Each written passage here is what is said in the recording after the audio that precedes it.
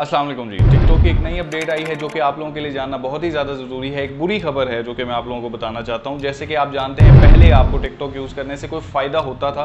अब कोई ऐसा खास फ़ायदा नहीं होने वाला है टिकटॉक को यूज़ करने से। क्या अपडेट ही आई है? इस सारी चीज़ों के बारे में आज की वीडियो में कम्प्लीटली डिस्कस करेंगे। आपको सारी चीज़ें मैं जो है वो डिस्क्राइब कर दूँगा। क्या अपडेट में रखा गया और क्या नुकसान इससे आपको होने वाला है। तो अगर वीडियो पे क्लिक कर ही लिया है तो नॉलेज लेते जाएँ यार। मेरा नाम है राव मुबशर इकबाल और आप देख रहे हैं आर एम आई टेक्सपोर्ट जैसे कि आप पहले जानते हैं कि आपको टिकटॉक में कॉइन का जो है वो आइकन दिखता था। आप इससे अपने कॉइन्स कलेक्ट करके इसमें जो है वो पैसे कमा सकते थे। पाकिस्तानी करेंसी में इसको आप चेंज करके जो है वो मनी ट्रांजेक्शन करवा सकते थे। ईजी पैसा या जैज़ कैश के थ्रू तो इससे जो है वो लोगों को काफ़ी बेनिफिट होता था, काफ़ी फ़ायदा लोगों ने इसे उठाया। और अच्छी खासी इनकम भी कुछ लोग जो है वो इसे बना रहे थे, जिनकी ज़्यादा फ़ैन फॉलोइंग थी। अब टिकटॉक का एक जो न्यू नोटिफिकेशन आया है, जो कि आपको यहाँ पर शो भी हो जाएगा, इसमें यह बताया गया है कि ये जो अर्निंग वाला मेथड है, ये टोटली टिकटॉक से रिमूव कर दिया जाएगा। जी हाँ ये कॉइन्स वाला मेथड अब टिकटॉक में नहीं रहेगा।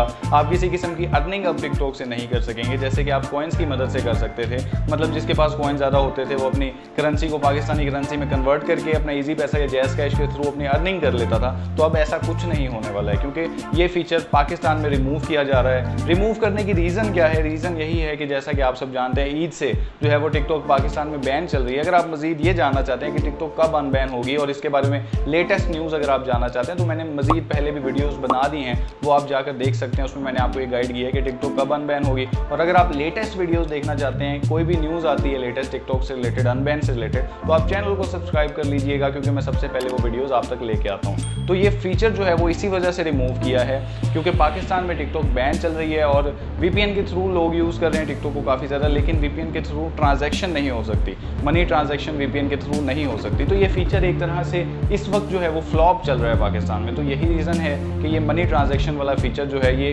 टिकटॉक से टोटली ख़त्म किया जा रहा है। कल से ही, आज लास्ट डे है। लेकिन अपने नोटिफिकेशन में टिकटॉक ने एक और बड़ी चीज़ इंपॉर्टेंट चीज़ मेंशन की है। वो ये कि जिनके पहले से पैसे जो हैं उनके अकाउंट में हैं, वो अपनी मनी को ट्रांजेक्शन करवा सकते हैं मनी की ट्रांजेक्शन जी हाँ बाद में भी वो करवा सकते हैं, लेकिन नई जो कॉइन्स हैं वो क्रिएट नहीं होंगे। ये न्यू फीचर अब जो है वो टिकटॉक में नहीं रहेगा, लेकिन पहले जिनके पास कॉइन्स हैं, वो अपनी मनी ट्रांजेक्शन करवा सकते हैं, लेकिन नए कॉइन्स नहीं बना सकेंगे। तो ये फीचर टिकटॉक से रिमूव हो रहा है, जो कि एक बड़ी बुरी खबर हो जाती है टिकटॉकर्स के लिए, जो कि वहाँ से मनी ट्रांजेक्शन कर लेते थे, अपने फाइनेंशियल इशूज़ को वो सॉल्व कर लेते थे और अच्छी खासी अमाउंट वहाँ से बना लेते थे। तो ये फीचर अब टोटली वहाँ से रिमूव कर दिया जाए अगर आप टिकटॉक से रिलेटेड किसी भी लेटेस्ट अपडेट के बारे में बाखबर रहना चाहते हैं तो चैनल को ज़रूर सब्सक्राइब कर लीजिएगा। साथ एक बेल आइकन है, उसको भी प्रेस कर लीजिए, ताकि कोई भी लेटेस्ट अपडेट सबसे पहले आपको मिले और टिकटॉक के अनबैन से रिलेटेड भी मैं वीडियोस बनाता रहता हूँ। पहले भी कई वीडियोस बनाई हैं और आगे भी जैसे ही कोई न्यूज़ आती है तो मैं सबसे पहले आप तक पहुँचा दूँगा।